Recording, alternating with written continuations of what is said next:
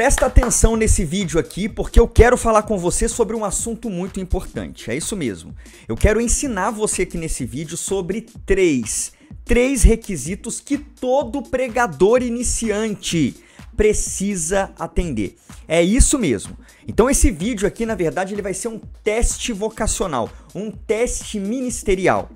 Porque se você não passar nesses três testes, ou a sua chamada vai estar incompleta se você não tomar uma atitude para mudar, ou você provará, dependendo da sua resposta a esses requisitos, que você nem mesmo foi chamado para o ministério da pregação. Então preste atenção nesse vídeo aqui, se autoavalie, faça um check-up aí do outro lado.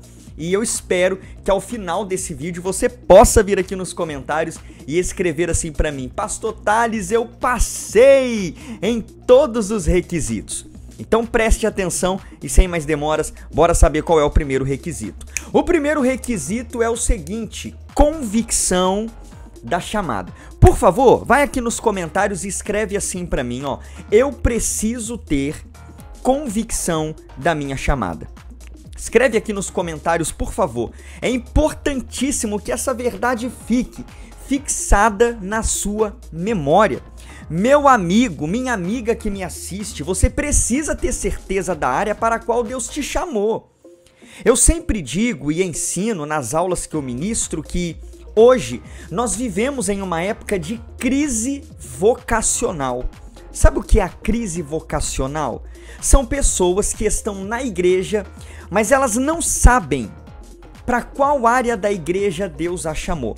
Então elas transitam no louvor, elas transitam na salinha das crianças, elas transitam na liderança, elas transitam aqui, transitam ali e nunca descobrem de fato para qual área Deus chamou ela para atuar, para desenvolver e a área para a qual ela tem um talento. Pastor Tales, eu me encaixo nisso. Como é que eu descubro a área para a qual Deus me chamou? Primeiro, você precisa orar buscar a Deus em oração. Senhor, para qual área o Senhor me chamou? Me guia, é, me direciona, me mostra, me revela. Uma outra coisa que mostra para qual área Deus te chamou, aquilo que te entristece, aquilo que te causa tristeza. E não se escandaliza comigo não. Vou falar até baixinho aqui só pra gente, só para você ouvir, tá? Aquilo que te causa raiva é isso mesmo, aquilo que te causa raiva. Sabe uma área da igreja que você fica com raiva porque aquilo é feito de qualquer jeito, não é feito com excelência, e você fala: "Meu Deus, isso merece o melhor. Deus merece o melhor louvor. Deus merece o melhor na pregação". Pelo menos eu era assim. Antes de eu começar a pregar, eu olhava para alguns pregadores ministrando a palavra, eu ficava com raiva. Meu Deus, por que, que ele fala difícil desse jeito? Por que, que ele tá enrolando assim na pregação? Por que, que ele não vai direto ao assunto? E olha só, Deus me chamou exatamente para essa área da pregação e mais, para ensinar outros a ministrarem da maneira certa. Então eu te pergunto, o que que te causa raiva, tristeza? Isso é um indício da área para a qual Deus te chamou. Então preste atenção. Uma outra coisa, o que que você ama fazer? Qual que é a sua habilidade? Qual que é o seu talento? Você precisa, como primeiro requisito, ter convicção da sua chamada. Sabe por quê? Porque vai vir muita pancada pela frente para você que quer ser um pregador, muita crítica, muita oposição, muita pessoa tentando puxar o seu tapete. E se você não tem a convicção da chamada, meu amigo, você desiste na primeira oposição e na primeira crítica. Então, para você que tem convicção da chamada, vai aqui nos comentários agora, mas tem que ser agora. Vai aqui e escreve assim: Eu passei no primeiro teste. Escreve aqui para mim se você tem a convicção da chamada de Deus na sua vida. Escreve aqui: Eu passei no primeiro teste. E em segundo lugar, um segundo requisito que todo pregador iniciante precisa ter na sua vida é o seguinte: preste atenção nisso daqui, não desfoca, por favor. O segundo requisito é o seguinte: vida no altar. Você precisa ter vida no altar. Um pregador que ele não vive com Deus, que ele não vive uma vida de oração, de leitura bíblica, uma vida de consagração pessoal, ele está negando a sua identidade como pregador. Ele está vivendo de maneira contrária aquilo que Deus chamou ele para viver. Ele está negando todo o seu ministério. Tem alguém que já disse, eu não me lembro o nome do escritor ou do pregador que disse isso, mas disse algo assim: que um pregador sem santidade é uma arma potente nas mãos de Satanás. Dorme com essa daí. Um pregador sem santidade, ele é uma arma potente nas mãos de Satanás. Sabe por quê? Porque inevitavelmente esse pregador vai causar escândalo à causa de Cristo, vai envergonhar o nome do Senhor e aí vai dar uma grande ajuda ao inimigo das nossas almas, que eu não quero ficar falando o nome do chifrudo aqui. Deu para você entender? Então você precisa ter uma vida santa, uma vida consagrada, uma vida de oração. E aí eu pergunto: você tá orando todos os dias? Ah, Thales, eu oro para almoçar, Senhor. Muito obrigado por esse prato de comida. Não, não é isso que eu tô falando, não. Eu estou falando de oração secreta. Você entra no seu quarto, tira um período de oração todos os dias? Não. Então você precisa, meu amigo, porque senão, que tipo de pregador você vai ser se você não ora? Outra coisa, você tem lido a Bíblia diariamente? Responde aí com sinceridade. Tem lido a Bíblia todos os dias? Ah, Thales, não. Eu só tenho lido a Bíblia assim quando o pastor pede para abrir a Bíblia lá na igreja, né? É para ele pregar. É só aí que eu tenho aberto a Bíblia.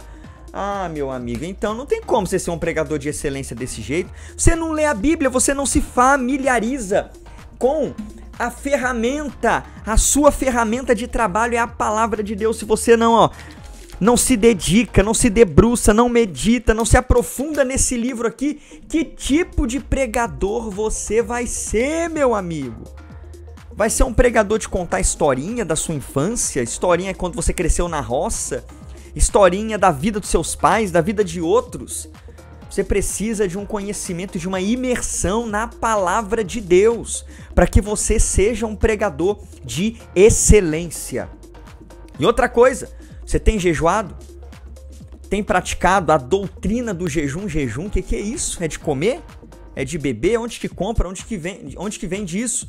Jejum é uma doutrina bíblica. Jesus ele ensinou para nós lá em Mateus capítulo 6 o seguinte: quando jejuardes, veja bem, Jesus não falou assim, ó, se você jejuar, ele não falou assim.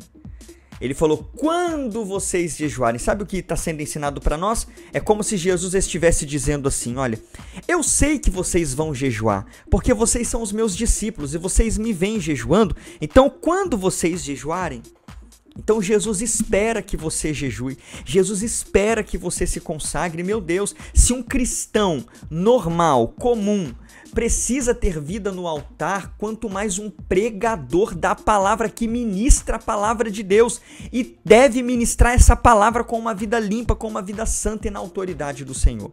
Sem vida no altar, você nunca terá poder para ministrar. Sem vida no altar, suas palavras serão vazias, serão palavras que vão sair da sua boca e vão cair no chão, porque não tem poder para entrar nos corações. Mas eu sei que você que está aqui diante desse vídeo é alguém que quer ter vida no altar e ser usado por Deus poderosamente. Então, se você entendeu esse segundo ponto, vai aqui nos comentários e coloca assim, ó: eu preciso. Escreva aí, por favor, escreva, não fica olhando para mim não, escreva aí. Eu preciso ter vida no altar. Coloca aqui, digita aí nos comentários, participa dessa aula aqui comigo, porque eu tomei a resolução e a decisão. Todo vídeo meu vai ser uma aula. É isso mesmo, todo vídeo meu vai ser uma aula. Seja um vídeo de 10 minutos, de 20 minutos, de uma hora. Todo vídeo meu vai ser uma aula.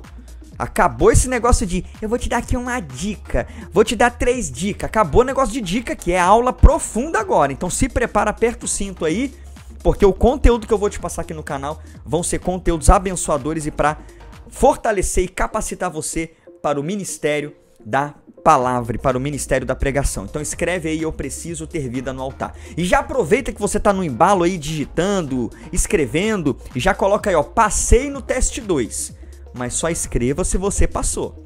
Você está mantendo uma vida no altar? Tá mesmo?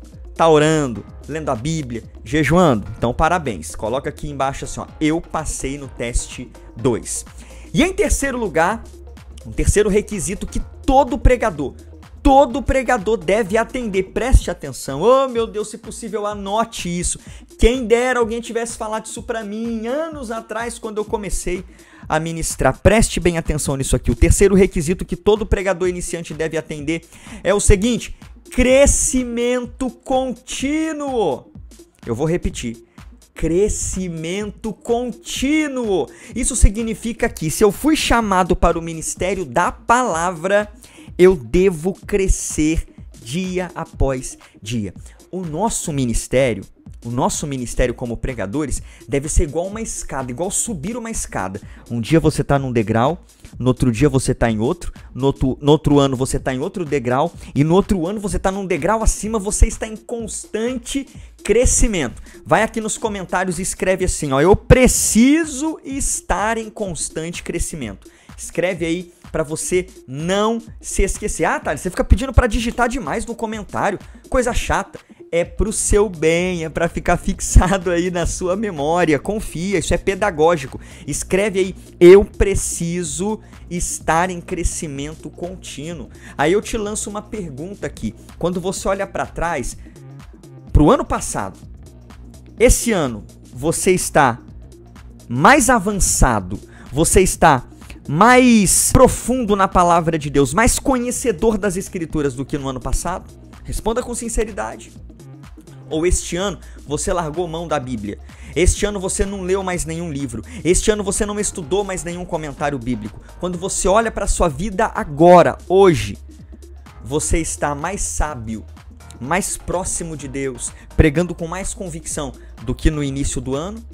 É uma pergunta que você deve se fazer. Nós devemos estar em crescimento contínuo. Nós devemos aprender com o apóstolo Paulo, que ele escreveu assim: Uma coisa faço, e é que, esquecendo-me das coisas que para trás ficam, e avançando para as que estão adiante de mim, eu prossigo para o alvo. O que, é que Paulo está dizendo para nós aqui? Eu estou em constante crescimento, dia após dia eu estou rumo ao alvo. Você precisa crescer. Thales, mas como é que eu cresço? Me explica. Primeiro, já falei aqui, vou repetir, lendo a Bíblia, né, meu amigo? Você precisa ler a Bíblia e crescer no seu conhecimento bíblico. Então leia a Bíblia para você crescer principalmente no conhecimento bíblico. Outra coisa, quer crescer realmente no ministério? Leia livros. Olha quanto livro aqui, ó, atrás de mim. E essa estante aqui é mais decorativa. Eu não coloquei todos os livros aqui porque senão polui muito o cenário. Mas olha aqui os livros aqui atrás. E a maioria desses livros eu li. Todo mês eu tô comprando um, dois, três livros. Só preciso de tempo para ler. Estão na fila aqui para eu ler, mas eu tô comprando, eu não deixo de comprar livro, investir no meu ministério. Comentários bíblicos. Você precisa investir em comentários bíblicos, em dicionários bíblicos, em ferramentas para o seu ministério. Ora, um dentista compra cadeira de dentista, motorzinho do dentista, compra aquele negocinho lá que suga saliva, que eu não sei o nome daquilo. Tem que ter toda a aparelhagem de dentista. Um mecânico tem que ter aparelhagem de mecânico. Um eletricista tem que ter a aparelhagem de eletricista. Alguém que trabalha com manutenção tem que ter a caixa de ferramenta. Aí o pregador não. Ah, eu não quero comprar porque eu não quero investir, ficar gastando dinheiro com livro, gastando dinheiro com comentário. Muda essa mentalidade, pelo amor de Deus você precisa estar em crescimento contínuo. Se não, desculpa a minha sinceridade aqui, não se ofenda comigo, não sou seu amigo e quero o seu bem. Você vai ser um pregador medíocre. E eu não quero que você seja um pregador medíocre. Eu não quero que ninguém aqui que me assiste nesses vídeos e me acompanha aqui pelo canal seja um pregador medíocre, mas um pregador de excelência. Então vai aqui nos comentários e escreva. Para eu saber que você chegou até essa parte do vídeo, escreve aí, ó. Eu não serei um pregador medíocre. Escreve aqui nos comentários, por favor. Enquanto você escreve, eu quero aqui te fazer um convite muito especial. Eu tenho um treinamento voltado para pregadores iniciantes chamado Seja um Pregador Treinando Vocacionados. É isso mesmo. Dentro desse treinamento eu vou treinar você. Eu vou te pegar pela mão e vou te ensinar passo a passo a pregar a palavra de Deus. É isso mesmo, você que, que não sabe escolher um texto para pregar, não sabe interpretar a Bíblia, não sabe montar um esboço de pregação. Se o seu pastor te convida hoje, você fica desesperado e não sabe o que fazer, nem por onde começar, dá vontade de sair correndo, não é verdade? Então, eu quero te ensinar a pregar a palavra de Deus, te ensinar a metodologia de preparo de de mensagens. Quer estudar comigo? Já somos mais de 3 mil alunos espalhados por este globo, por este mundo. E eu quero aqui louvar a Deus por cada um que é meu aluno ou do Seja um Pregador, de qualquer outros cursos que eu tenho de capacitação ministerial, muito obrigado pela confiança. E eu quero então convidar você a conhecer e a se inscrever neste treinamento que vai revolucionar. Como eu sempre digo, vai ser um divisor de águas na sua vida e no seu ministério. Pastor Thales, como que eu faço para conhecer este seu treinamento sem compromisso? Eu quero ver se é bom mesmo. É simples. Você vai aqui, ó, primeiro link da descrição, vai estar tá escrito assim: "Meu treinamento". E vai ter um link. Clica no link que vai estar aqui na descrição, ó, primeiro link. Me chama no WhatsApp e lá no WhatsApp eu vou te mandar um vídeo de apresentação deste meu treinamento. Aí você avalia, pesa as evidências, se for bom para você, cai dentro, cai para dentro, cai para dentro. E vem estudar comigo, porque eu quero te pegar pela mão e te ensinar passo a passo a ser um pregador aprovado e grandemente usado pelo Senhor. Topa?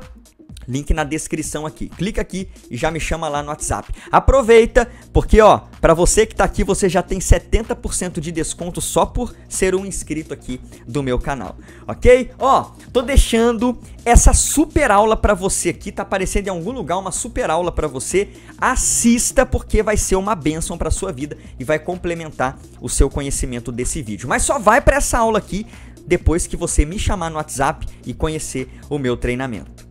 Tchau!